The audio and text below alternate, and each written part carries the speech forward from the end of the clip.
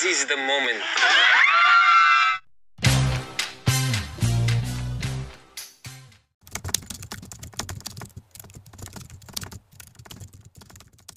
ka ba?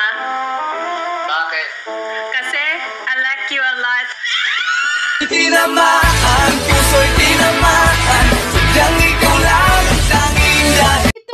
Ang latest task ng mga adult housemates. Talaga namang nagbigay din ng kilig ang tambalang Nathan at Isabel. Siyempre, hindi mawawala ang tambalang Sak at Tamara, pati na si Seham at Michael. Subalit ang nagbigay aliw talaga sa mga madlang people at taong bayan ay walang iba kundi ang nakakaaliw na banat nga ni Jean kay Lasis at ang banat nga nitong si Seham kay Alec. Unti-unti na ngang nabubuo ang love team sa loob ng bahay ni Kuya. Sino ba ang sinusuportahan nyo mga ka-trending? Mga mga ka-trending, salamat! Have a nice day everyone!